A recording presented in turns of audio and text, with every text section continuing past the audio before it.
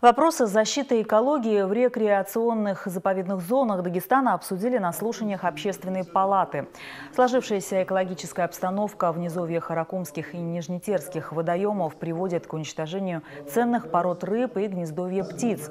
Из-за нехватки подаваемой воды ухудшаются условия для их жизни. В летний период, когда водоемы еще больше высыхают, происходит гибель водных биоресурсов.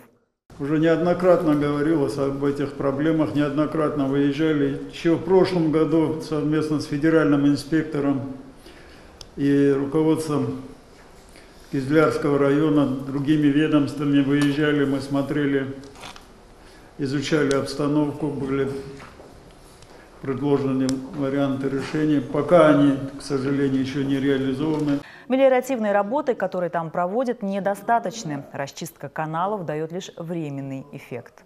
Стратегическая значимость этих водных объектов определяется как источник сохранения и пополнения видового разнообразия сырьевой базы и в целом экосистемы Северного Кавказа в границах Республики Дагестан.